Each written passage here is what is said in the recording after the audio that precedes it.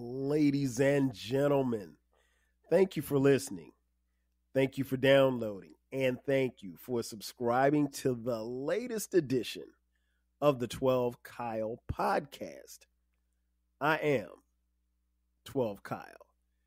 Check this out. On this episode, what I want to do is I want to go back, right? Um, I've been doing this podcast for a while.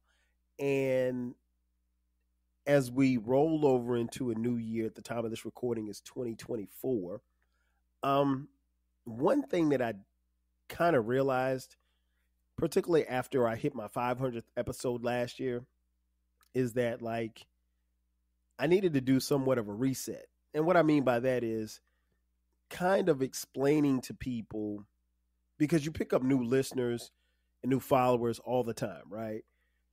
Kind of explaining to people who may not have been here from day one to kind of explain how I got here.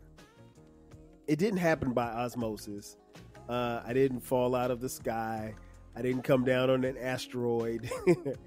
um, but, you know, kind of giving you a little synopsis of me, 12 Kyle, and, and who I am. Um, and again, it wasn't anything spectacular. Uh, as as dope as I think I am, uh, you know, whatever level of success or perse- per- perseverance that I think that I had, uh, it came over a period of time. So I wanted to kind of, to quote Jay Z, uh, allow me to reintroduce myself to you, the listening audience. Uh, so how I got here. Um, at the time of this recording, I am 51 years old. I don't feel like I'm 51. I, I don't think I look like I'm 51. The grays might say a little different, but um, as you can see on YouTube, if you're watching on YouTube, thank you for watching. Um, but yeah, I don't, I don't feel like I'm 51. But no, it, it, it started um, way back in the day in 1972. Um, I was born to my mother and father. Uh, I'm the oldest. Um, there's me and my brother Damon. Uh, and then my father remarried and had my sister Kara. Uh, and so I think, well, let me just start from day one. Uh, I think the word that I got was the day that I was born, it snowed. And it was like 10 inches of snow. I was born in Newark, New Jersey. Um, I'm from South Carolina, but I was born in New Jersey. Uh, and people always bug out, man, I didn't know you were from New Jersey. No, I'm not from New Jersey. I was born in New Jersey. We lived in New Jersey for almost three years, and then we moved to Florence, South Carolina, which is my hometown.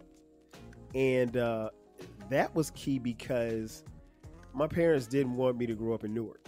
And no shade to Newark, but I'm glad I didn't grow up in Newark either. Uh, my dad is from New Jersey, from Newark, and my mom is from Florence, South Carolina. And so they got married in 71, had me in 72, and they had already determined that Newark wasn't going to be a place where I grew up because you grew up fast. And they wanted me to grow up slow like anybody else and have a regular childhood. And I did. Um, and so, yeah, I'm uh, almost three years older than my, I was three school years older than my brother, Damon. And so, you know, being the oldest, uh, that there, that comes with a level of responsibility, and uh, it's not one that I take lightly. Uh, I enjoy actually being the big brother.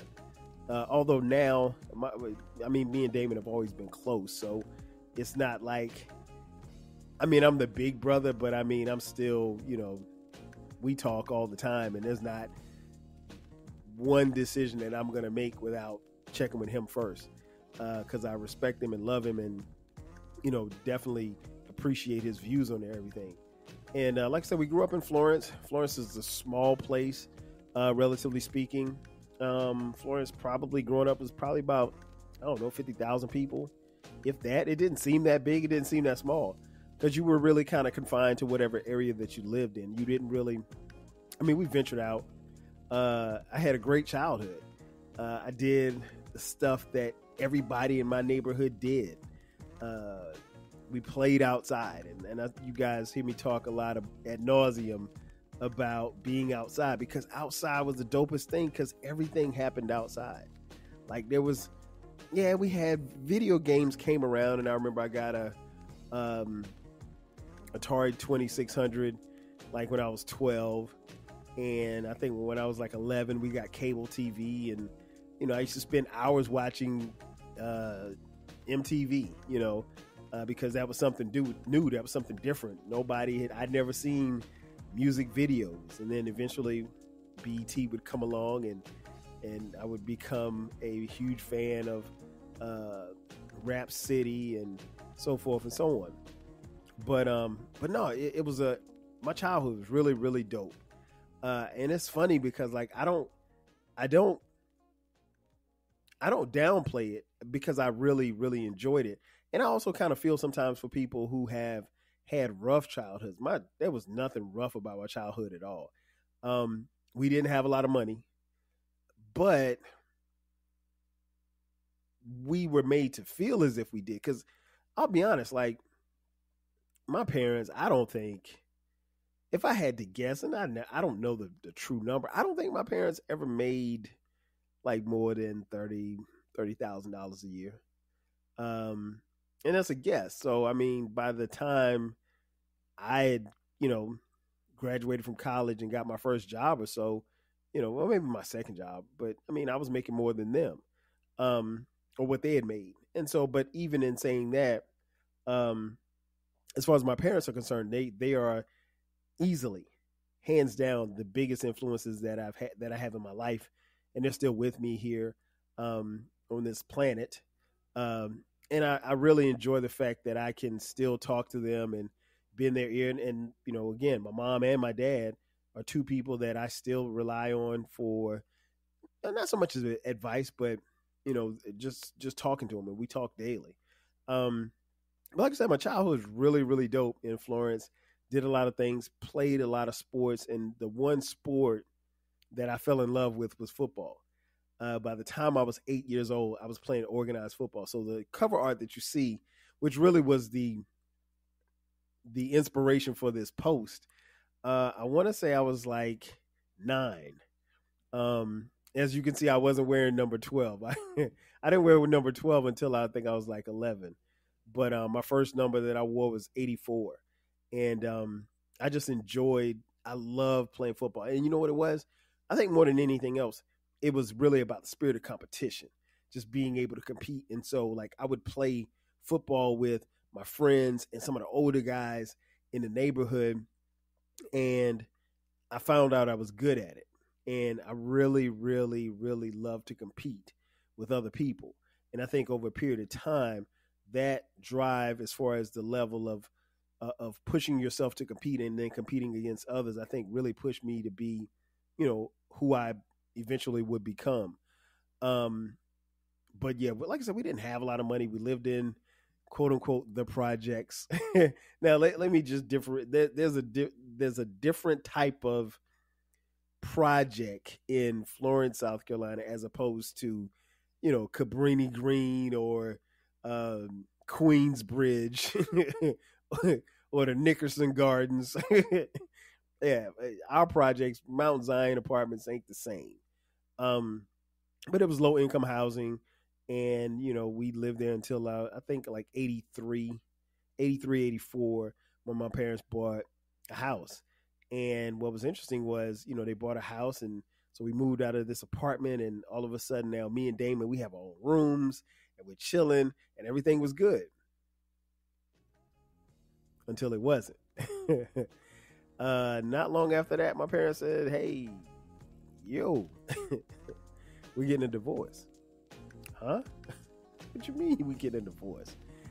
And like that was the biggest shock because again, for me, and for Damon, uh, we had never heard them even argue, you know, which is not something I can say my kids can say, but no, we never even heard them argue. So for it to go from, you know, chilling in the house and we had a dog and, you know, we were living the quote unquote American dream, you know, by having home ownership. And what was dope was my school, McLaurin, was literally and figuratively at the end of my street. So I, it took me a minute to walk to school and a minute to get home and all of a sudden, you know, my parents say, "Hey, we're getting a divorce." You know, it was it was a crushing blow, and so you know there was this was I was headed into the seventh grade when this happened, and so I'm in middle school, and so this is when things kind of turned for me because I think like at this point I'm playing football, I'm playing organized football, I'm playing baseball too, and I'm doing really. I was always really really good student in school. I got good grades. Uh, I can't say I was a nerd, but I, I was, you know, I, I was pretty smart. Um, pretty sharp, always pretty sharp. Uh, I love the subjects of like language arts, English, um, social studies. Hated math, hated science. Well, no, I can't. Well, let me go back. In elementary school, I really liked math and science. By the time I got to, uh, by the time I got to middle school, math and science was god awful. I mean, I mean, hey, it is what it is. you can boo if you want. But yeah, it was just it was just terrible. It was just terrible. So I was like, no, nah, I'm not I'm not rocking with this. Um but, you know, it got to a point where I just I had to kind of figure some things out because now the two most important people in my life are going their separate ways. And so not only this, but I have to be, you know, there for my younger brother. And so like there's no blueprint for that. And I think as tough as divorces are, it's so hard on the kids. And so me and Damon really had to navigate through our parents' divorce. And not only that, but by the time we get to by the time I get to seventh I'm going to seventh grade, he's going to fourth grade. Not only are we our parents getting a divorce, but we're moving away from the house. Now, fortunately, my mom never sold the house; she rented it out. But we were moving across town to my aunt's house, and you know that was going to be something in and of itself because now I'm going to a new school. I'm going to a middle school, and you know I knew I knew some people from my school that was going to middle school. It's middle school's called Williams, and I knew a couple of people, you know, from the from the neighborhood or whatever like that, but I didn't really know a lot of people. And I just remember one of my most fondest memories uh, was the first day of middle school. I got off that bus, and man, I looked around, and I ain't see no familiar face. And of course, my cousin Eric was there. You guys have heard me talk about my cousin Eric. Um, that's like, I mean, we're cousins, but we're more, we're really brothers. Uh, my mothers are sisters and we literally grew up together. And I'm nine months older than Eric, but we've always been neck and neck, always together. And so he was in the house, so that was cool. But I didn't even see Eric that day because we rode on the bus, and it seemed like we got off the bus and he went one way and I went the other way. Um, but like I remember that memory of, and then I, I just remember somebody walking up to me and say, "Hey, what's up?" And the kid who said what's up, I didn't know him, but like he was this nerd. I mean, like nerd nerd. And I just remember just talking to him, and then like some other nerds came over, and I was really this, you know, kind of quiet, unassuming kid hanging with these nerds, and these nerds were loving the fact that I was talking to them, and I was like, I don't know nobody. Uh, but that would change. Um, I would eventually run into a couple of cats, and we would become crew and these would be you know my best friends in the world and still are to this day and my boy jay fresh who i talk about all the time uh, jay fresh um, we went the same church together but i would only see him on sundays and then he came to that he was at school too and so it just you know socially it kind of took off but you're still dealing with the the after effects of a, of a divorce but in the meantime i was balling on the football field doing well in class um, and then, you know, seventh grade math. Uh, man, that was something different. That was that was something totally different. I was I, I didn't understand that shit. Like it was crazy. And but either anyway, I just, you know, matriculated on to high school. And once I got to high school, Wilson High School, uh, things were a little bit different. Uh, I knew more people and I think who I was started to come out. Um, and I was never shy or bashful about who I was, but I think what I did was um, I remained very guarded. Like my crew got to know me, but outside of my crew, I think I tried my best to control the narrative as to who I wanted you to think I was. And wasn't no tough guy. You know, I wasn't going I wasn't walking around Wilson slapping people, but I wasn't no punk either. So, you know, I was like right in the middle. And um I was cool with people. Uh, but my high school years were really, really dope. Every year got progressively better. And then in the classroom and then on the football field, it, things just really took off. And, you know, by the time I'm a junior, by the time I'm a sophomore in, in high school at Wilson, I knew I was like, I'm going to college. And I started looking at these colleges and stuff like that. And um, I was just like, I had made up my mind at that point that um, you know, I was going to an HBCU. And because everybody in my family had gone to South Carolina State, which is a historically black college in Orangeburg, South Carolina, that is located 90 miles from where I live in Florence. I didn't want to go to South Carolina State. Um, I had to make a decision. I had a list. South Carolina State was probably fourth or fifth on the list. Like it, there was no desire whatsoever to go to South Carolina State. And as fate would have it, I ended up going to South Carolina State. Uh, long story short, you know, I was doing my thing on the football field, and you know, a couple of schools came looking. wasn't heavily recruited because I was five seven, uh, a buck forty five, soaking wet, but I was balling on the field, all all region or whatever, all county, whatever you want to call it. Um, and so I was successful, and, and I had really really good grades but I wasn't interested in going to Clemson. I wasn't interested in going to the University of South Carolina. I wasn't interested in going into the University of Georgia or any other place. I didn't want to go to any PWIs. It was going to be an HBCU. So I applied at Howard. I applied at North Carolina A&T. I applied at South Carolina State and some other place. And oh, Hampton, Hampton. So I got into Hampton and South Carolina State on the same day. I got my my acceptance letters on the same day, and um, I was all but locked in to go to Hampton. Uh, one of my best friends, my boy Zell, you guys have heard him on here as well. Zell had already decided to go to Hampton, so I was probably going to Hampton. And then I found out Hampton was looking at going on probation in football. I was like, nah, I can't do that. I was like, I'm not trying to get caught up in anybody's probation. Um, but in the meantime, uh, South Carolina State was still there, and they started recruiting not only me, but my quarterback Keyshawn and my tight end Ronald Barr, and um, it was you know the decision for them to recruit Keyshawn Durant, uh, who was one of the best athletes I've ever seen in my life. Um, once they started recruiting him, I was like, and then the the recruiter, our offense coordinator, um, he pitched it to me. He said, "Hey, you can come to South Carolina State, and you and Keyshawn and Ronald can recreate what you guys are doing here at Wilson." And we, I mean, we tore it up at Wilson. And so I was like, that sounded good. And I mean, it wasn't far from home. I was very familiar with the campus, everything.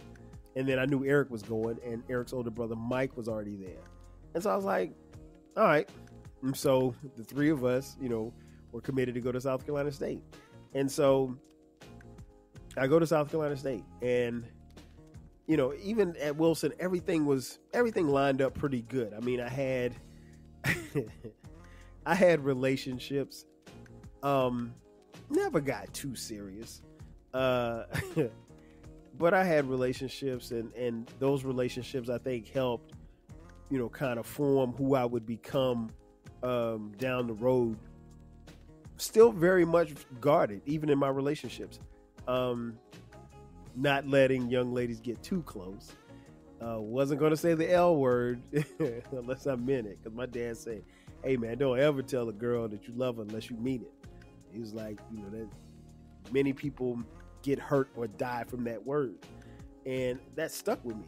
But um, you know, socially I was doing fine and uh, I go to South Carolina State, and it was one of the best decisions I'd ever made in my life. Um, everything flipped upside down. Everything changed. Everything. Um, I can't say everything was perfect because I had my bumps in the road, and I've, I've talked about them on other podcasts, and I'll talk about them more as other podcasts uh, in the future come up. But um, you know, it was it was a rough road, and you know, I think one of the things that inspired this particular episode was there's a line in um, this song by uh, Jay Z and Eminem. The song is called Renegade. And in the song, Eminem says, I don't think you have a clue what it took for me to get here. And that line always stuck with me because I honestly felt like that. Like people would meet me, people would see me and they get to know me, befriend me, whatever, whatever. And they might know what they see in the classroom. They might know what they see on the football field. But you have no idea what it took for me to get there because along the way there were doubters. And I mean, like, I'll be honest, there was people in my family was like, You going to college? you going to play football in college? I don't think that's gonna happen. And so I use that as fuel for my motivation to to do what I had to do. Um, and I don't think it was anything malicious by it. I just think people, everybody can't see your vision. And you know, I wasn't. I'll be honest. Even in high school, I wasn't that focused. I was focused on football. I was focused on my schoolwork, but I mean, I was going to do what I had to do. But I wasn't like trying to kill it in the classroom. you know, I wasn't trying to be valedictorian, but I mean, I was a A B student and um, you know, I was very satisfied with my grades. Could I have tried harder in some subjects? Yeah, of course. But you know, I enjoyed what I enjoyed. Uh, but like I said, by the time I got to South Carolina State, it was really about that line. I don't think you have a clue what it took for me to get here or what I did to get here. And that became like my motivation. Not that the song was out, but I mean, I'm just giving you an example of my mindset was most people who met me had no idea what it took or where I came from or the mindset that it took to, you know, get to where I was. And it's not like again, it's I'm not from a big place. I'm not from, you know, I, I wasn't ducking bullets on my way to school or anything like that. I wasn't there weren't any gangs in Florence. It wasn't none of that stuff to distract most people and some of the people that I would eventually go to school with.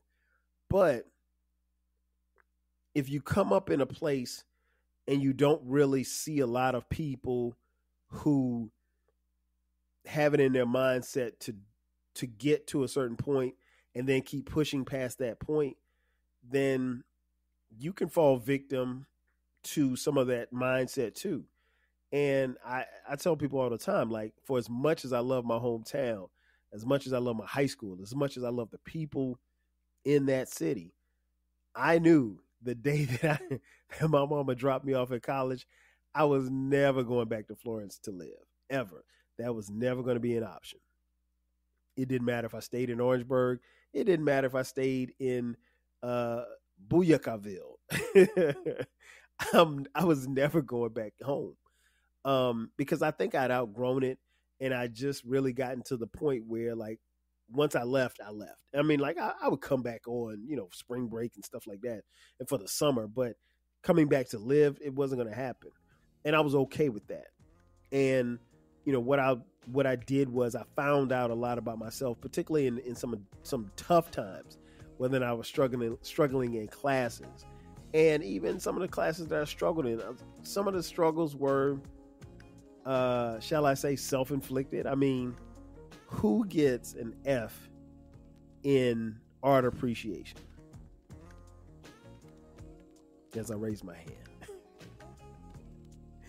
I mean, in art, art appreciation, I really got an F. I mean, is that possible? I don't know. I know when my mom saw the grade, she wasn't happy at all. She was quite livid and was asking, like, how did you fail art appreciation? Also failed another class. Two only two classes I failed at South Carolina State.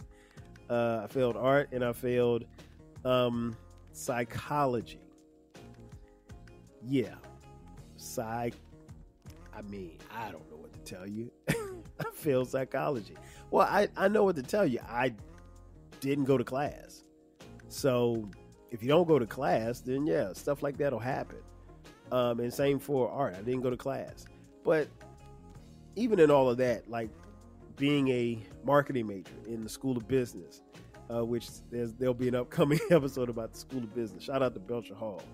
Um, I think I learned a lot about myself because there's rarely self doubt, especially that particular time. Rarely self doubt, but you cannot have self. You can you cannot have have be you cannot be burdened with self doubt, but still have the mindset of how am I going to get this done.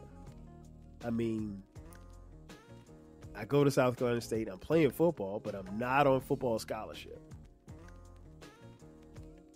Am I going to work to earn a scholarship? Am I going to take out loans? Am I going to graduate? I mean, all of this stuff is on me.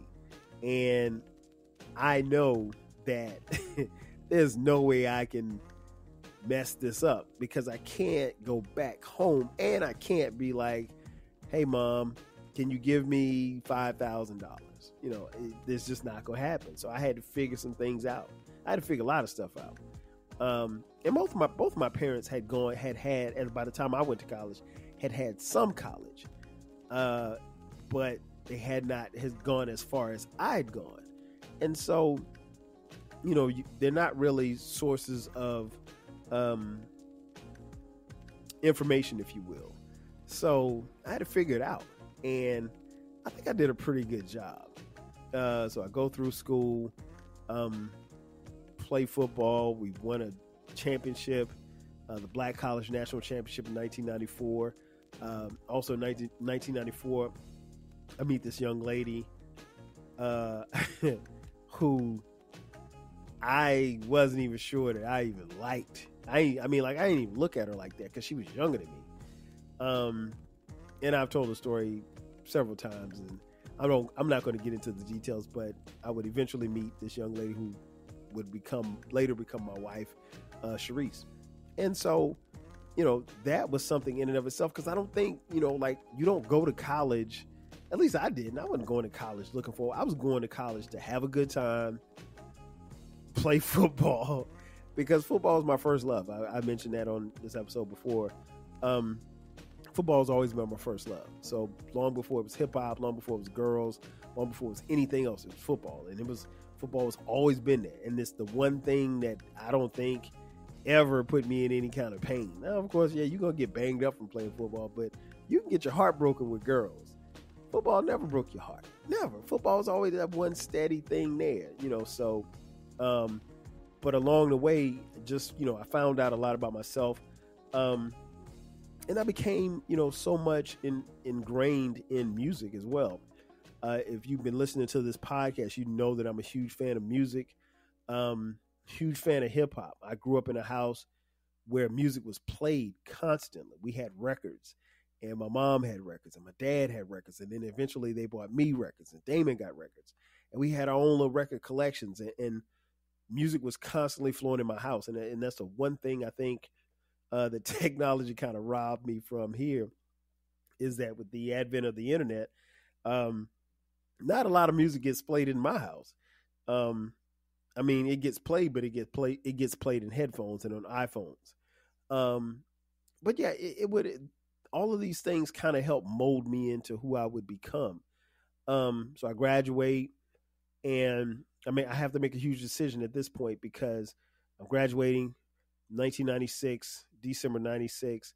And my girlfriend, uh, who I was living with, Sharice, at the time, you know, we're living together, but like, I got to, at this point, I, I've spent five and a half years at South Carolina State. It took me five and a half years to graduate. And those were the longest five and a half, but those were the best five and a half years of my life. If I could jump in a time machine tomorrow, I'd do it all over again. Um, I might work a little harder in some classes. Uh, shout out to accounting. Shout out to financial management. Um, but yeah, you know, so it's like I had to figure out, like, okay, well, what's next? And then, you know, I came up with the idea of moving to Atlanta in the summer of '97, and uh, talked to Jay Fresh, and Jay Fresh said he wanted to do it too, and so we decided to move to Atlanta together. Which I, as I mentioned on previous podcast, I I just knew he was going to back out at the last minute. I, I didn't think for a second Jay Fresh was going to accompany me to Atlanta, and we came and and I've been here since 1997. And honestly, I don't know. I know for a fact I didn't plan to be here this long. It's it's not like I wanted to leave and go somewhere else, but I just I didn't plan on being here this long.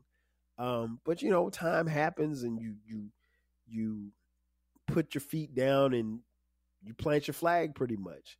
Um, in 1999, I would something would happen that would change my life forever, and that was becoming a father. Sharice and I gave well, Sharice gave birth. I didn't give birth. I was there though. uh, Sharice gave birth to our first son, Dion, and um, that day, August 9th, 1999, changed everything for me. It changed the way I looked at life, changed the way I carried myself. It changed everything because now I had someone who was totally, unequivocally, unapologetically dependent on dependent upon me, and I had to get it right. And I wanted to be like my dad. I wanted to be the best father in the world. And you know, that's still a goal. And even having surpassed my parents financially, I say this all the time, and I, I really and truly mean it.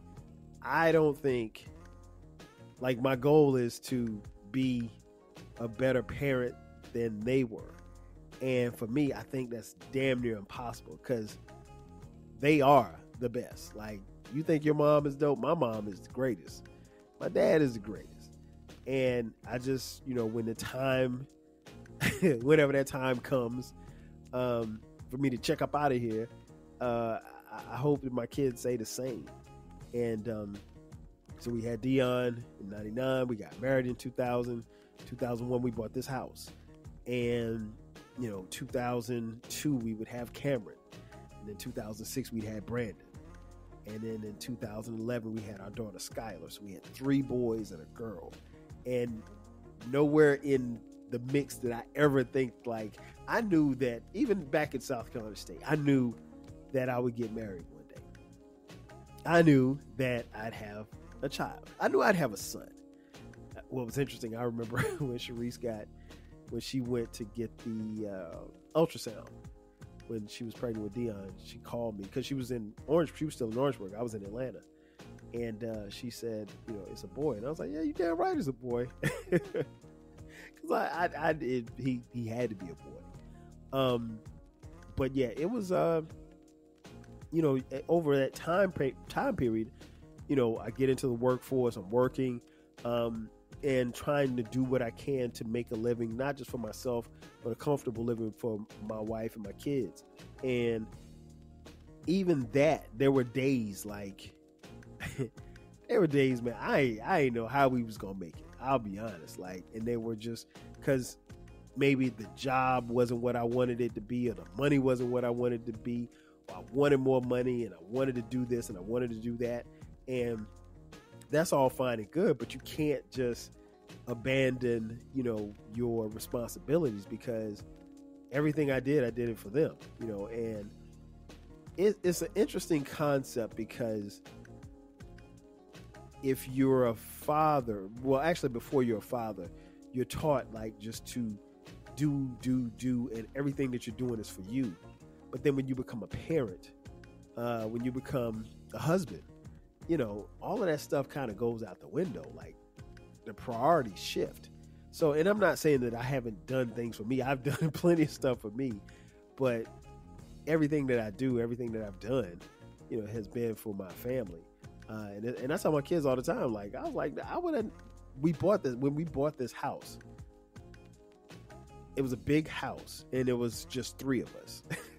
so, you know, I remember when my mom, I remember the first time my mom came in and she walked in the front door and she started looking around.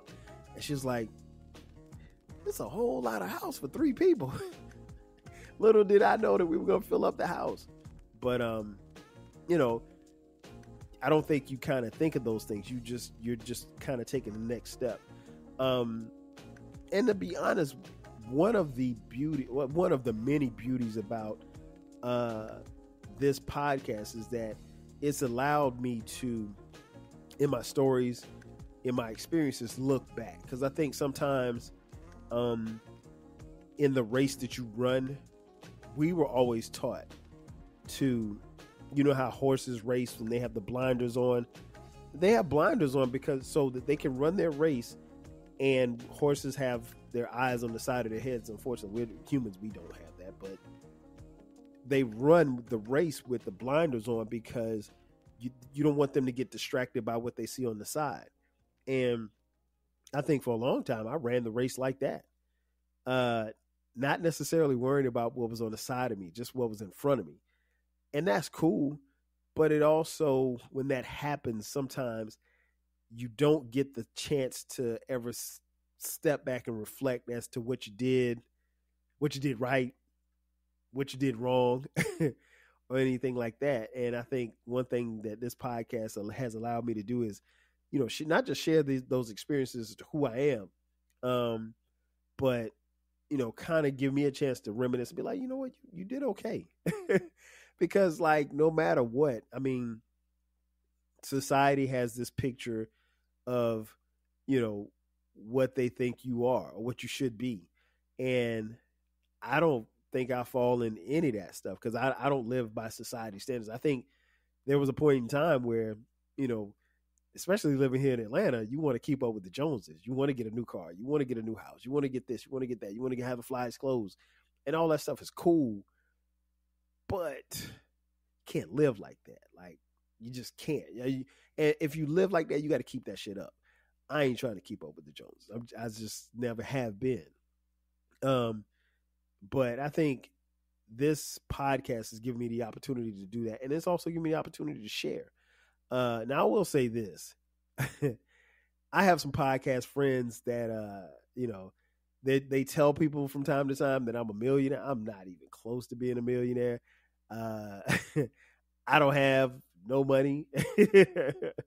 so I ain't got it here. But um, nah, it, it, it's it's all in good fun uh, in conclusion, I think one of the things that I've learned as I've traveled this journey is to one look back and appreciate what I've done, and then also share my story because I think that's what this podcast app actually helps me do.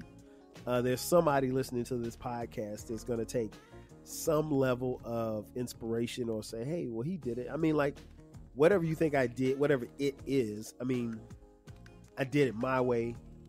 Um, it wasn't all me. I was definitely surrounded by people.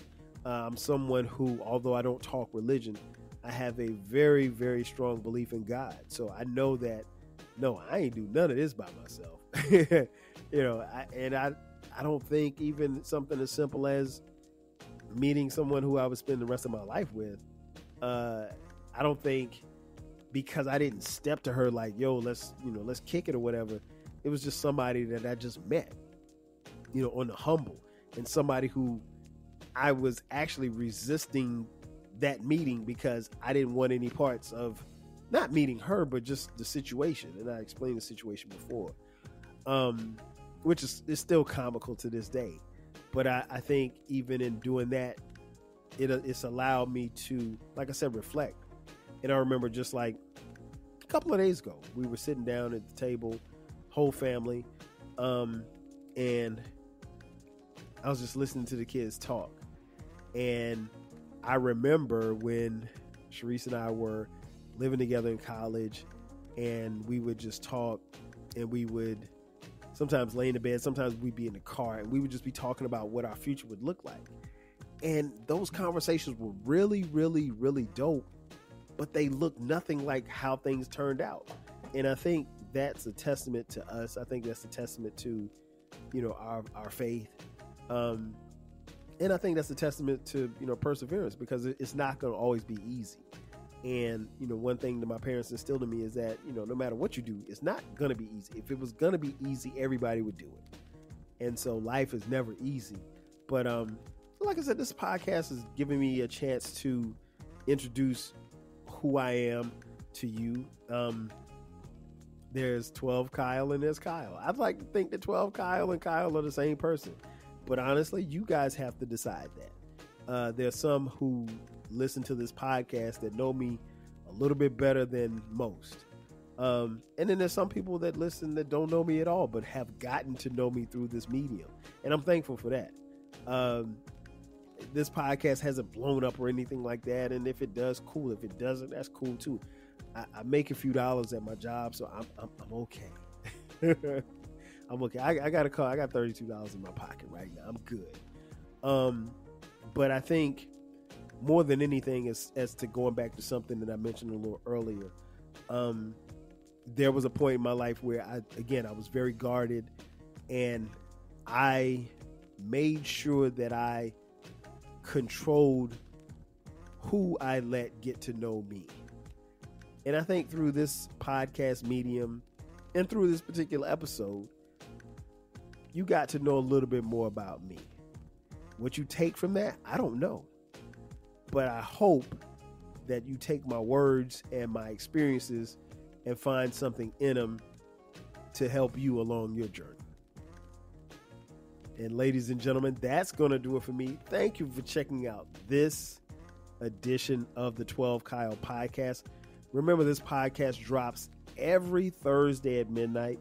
From time to time, we drop bonus episodes on Sundays at midnight. Uh, make sure that you follow me. And not only just follow, but also subscribe. The podcast is on all platforms. We have a YouTube channel as well. You can subscribe there. Uh, if you feel so inclined, I told you I had $32. Send me a dollar. Hit me up on Cash App, dollar sign T W E L V E K Y L E. Also on TikTok. Follow me on TikTok, uh, Twitter, uh, Instagram at 12 Kyle Podcast at 12 Kyle spelled out. Um, again, that's going to do it for me. I am your boy 12 Kyle. I'll catch you guys next time. 5,000.